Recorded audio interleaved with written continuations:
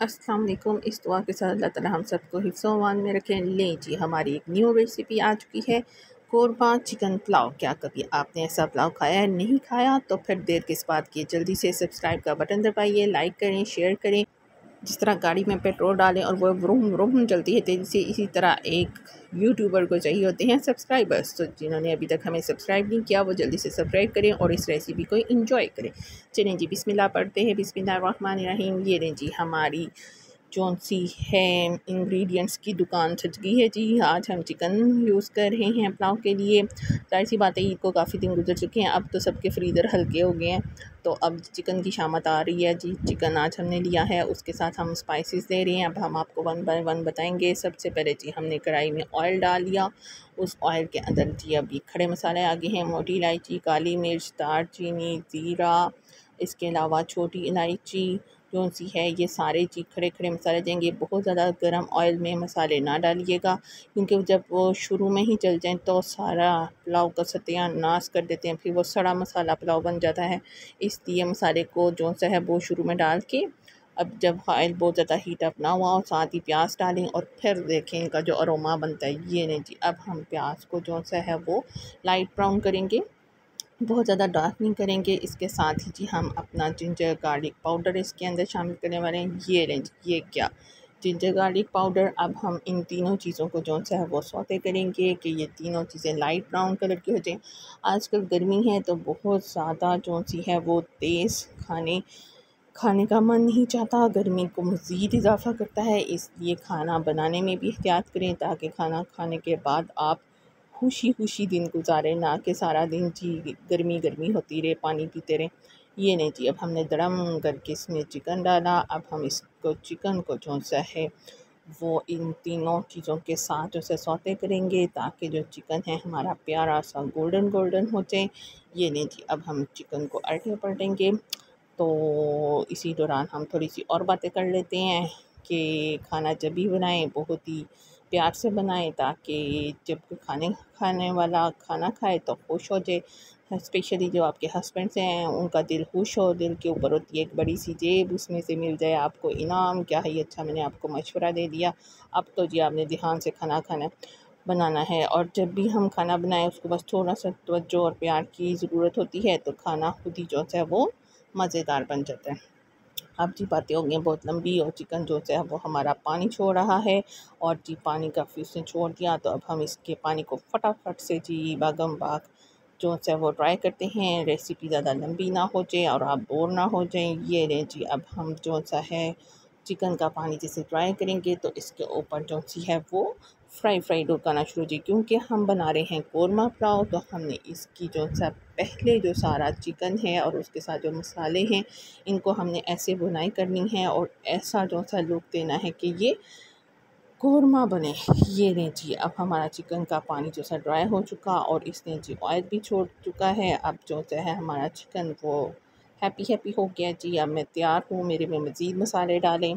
तो ये देखें जी, क्या ही ऑयल जो है वो लश्कारे लगा रहा है और बोटियाँ जो सी अंदर गोल्डन गोल्डन फ्राई हो चुकी हैं। अब जी हमारा नेक्स्ट स्टेप है, इसके अंदर हम डाल रहे हैं टमाटर। चलें जी, हमने टमाटरों के छिलके उतार दिए थे और ये हमारी स्पाइसेस आ गई, नमक, सूखा धनिया दड़ा मिर्च और गरम मसाला और काली मिर्च। सूखा धनिया गर्मियों में मैं थोड़ा सा ज़्यादा यूज़ करती हूँ ताकि खाने में जो सी है वो तासीर थोड़ी उसकी जो सूखा धनिया थी उसकी ठंडी होती है। अब जो से है हम इस चिकन को टमाटर के साथ और इन स्पाइसेस के साथ जो है वो अच्छे से बुनाई करेंगे। टमाटर डालने तो फिर आप स्पाइसेस डालें ताकि आपकी जो स्पाइसेस हैं वो जले ना क्योंकि टमाटर भी नेचुरली एक पानी छोड़ता है। उसके साथ जो सी हमारी बुनाई बहुत अच्छी हो जाती है। ये नहीं जी, अब हमने फटाफट से जो सी है वो टमाटर के साथ इसकी बुनाई करेंगे ताकि जो सा ये हमारी कौरमा रुकते इसमें छोटी इलायची हमने डाली थी, उसका एक अलग ही अरोमा आता है जब बुनाई करें तो वो जब ये बुनाई हो जाएगी तो उसका अगला स्टेप है जी दही आकर दही में आपने किसी भी ब्रांड का एक या दो चम्मचों से वो कौरमा मसाला डालें क्योंकि मैं हाफ़ के जी चावल ले रही हूँ और हाफ़ के जी ही मेरा चिकन है। तो मैं एक बड़ा टेबल स्पून जो है कौरमा मसाला का दही में मिक्स किया और ये जी, हमने अपने मसाले वाले चिकन में डाल दिया। अब जी, पूरे घर में कौरमा कौरमा खुशबू होने वाली है और हमारा कौरमा पुलाव जो सा है उसका कौरमा रेडी होने वाला है। जैसे ही हम जो सा है दही का पानी खुश्क करेंगे तो आप खुद देखेंगे कि जी कौरमा तैयार होगा और इधर ही सी मुँह में पानी आना शुरू हो जाता है। दिल करता है जी नान पकड़ें और इधर से जी कौरमा खाना शुरू कर दें। लेकिन जी अब थोड़ा सा और सब्र करेंगे। जैसे ही दही का पानी बिल्कुल खुश्क हो जाएगा तो फिर हम इसका नेक्स्ट प्रोसेस करेंगे। ये लें जी ऑयल ने मार लिए हैं लश्कारे और हमारा जो सा है वो चिकन का यहाँ तक जो कौरमा स्टेप था वो फुली डन हो गया। अब जी हम इसमें थोड़ा सा पानी डालेंगे और इसको पाँच सात मिनट दम देंगे क्योंकि हमने चिकन की पहले यखनी नहीं निकाली। इसको हम डायरेक्ट बना रहे थे तो फिर चिकन जो सा है वो हार्ड ना रह जाए तो हम इसको पाँच से सात मिनट के लिए जो है वो ढक्कन लगा देंगे चलिए जी अब हमने कवर किया। कवर के बाद लो पानी हो गया फिर से ड्राई और अब हमारा फिर से जो होता है वो मसाले वाला कौरमा वाला चिकन आ गया। बड़ी कौरमी खुशबुएँ फैल रही हैं हर तरफ़। ये रहें जी अब हमने इसके अंदर इतना पानी डालना है जितनी हमारी यखनी हो। आ, मेरे जो चावल हैं वो डबल पानी ले रही हैं। आप जिस भी टाइप के चावल बनाते हैं, आप उतना ही उसमें पानी डालें। मैं ऐसे ही आपको बता दूँ कि आप डबल डाल दें, या तो आपके चावलों का हलवा बन जाए या सख्त बन जाए। आप जो चावल बना रहे हैं, आप रोज़ के हिसाब से जितना पानी डालते हैं, जी उतना पानी डालें।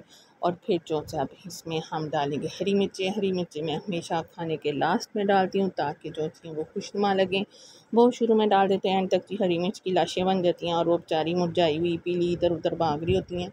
तो जी, हमने खाने को रखना है। खुशनुमा तो अब हमने इस पॉइंट पे डाली हरी मिर्चियाँ और इसको ढक्कन लगा दिया ताकि जो सा है, चावलों का पानी वो ड्राई हो जाए। ये ले जी अब ये दम वाली कंडीशन में पहुँच गया। अब हम पंद्रह से बीस मिनट दम लगाएँगे और फिर हम दम उठाएँगे। लो जी, क्या ही मज़ेदार कौरमा पुलाव की खुशबू फैल रही है। जी, हमारे मज़ेदार से स्पाइसी से कौरमा पुलाव के चावलों को दम लग चुका है। हर जो चावल है वो ऊपर खड़ा खड़ा हो गया, जैसे तो कौमी तराने पे खड़े हो जाते ना सब, इसी तरह जब दम अच्छा लगे तो चावल खड़े हो जाते हैं। ये रहे जी हमारे मज़ेदार चटहारेदार सा कौरमा पुलाव। तैयार है। आप इस रेसिपी को ज़रूर इंजॉय करिएगा। एक ही तरह की रेसिपीज़ बना बना के बंदा बोर हो जाता है। तो अपनी लाइफ में लाएँ थोड़ा सा चेंज और हमारी रेसिपीज़ को ज़रूर ट्राई करें और वी आई पी सा माहौल बनाएँ, रायता सलाद लें हमारी रेसिपी को लाइक करें एंड चैनल को सब्सक्राइब करें।